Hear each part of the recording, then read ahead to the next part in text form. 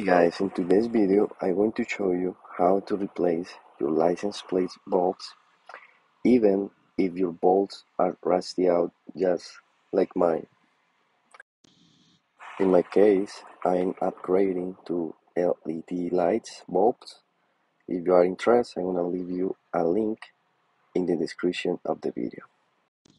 So if your uh, bolts are rusty out, um, there is no way you're gonna be able to, to change the, the lights from this area. So what you want to do is um, open your gate and you want to remove this cover. But keep in mind there is a pin on this area.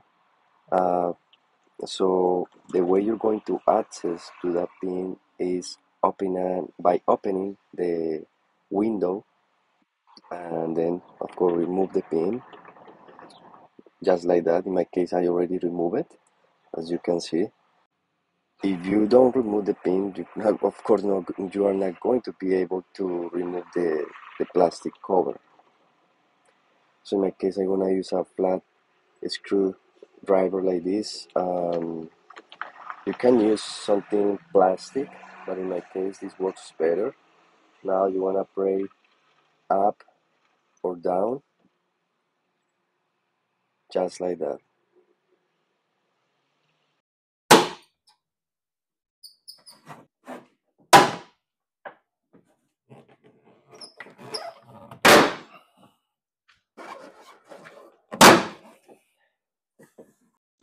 So once everything is removed, all you want to do is to slide up the whole cover so it's going to come off easily, just like that.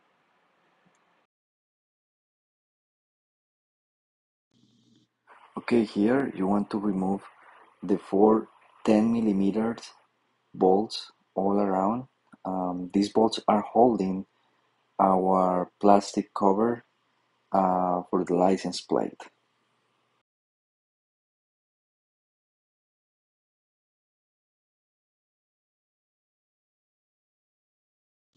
Okay, once we remove the bolts, the 10 millimeter bolts, we are ready to start pulling out the plastic plastic cover.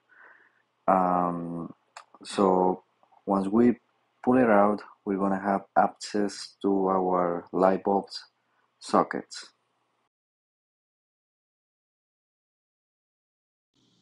So before putting everything back together, just make sure the bolts are on the right um, polarity.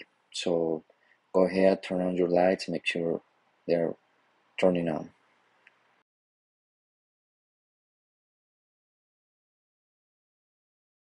So once you're ready to put everything back together, um, the cover is very important that you start it from the top uh, where the pin is.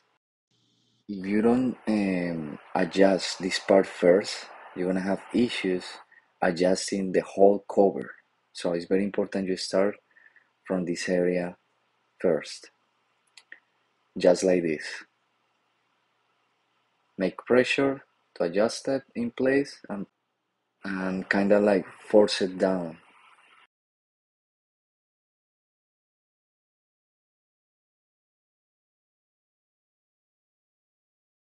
Okay guys, if you find this video useful, please don't forget to subscribe, give it a like, and see you in the next one. Have a wonderful day.